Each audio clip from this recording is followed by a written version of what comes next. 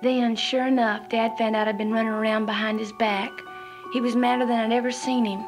As punishment for deceiving him, he went and shot my dog.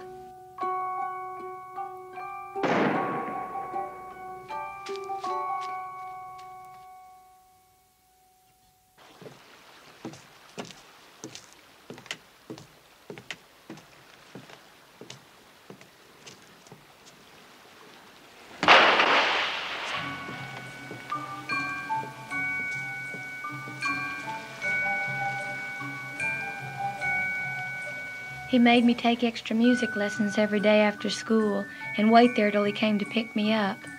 He said that if the piano didn't keep me off the streets, maybe the clarinet would.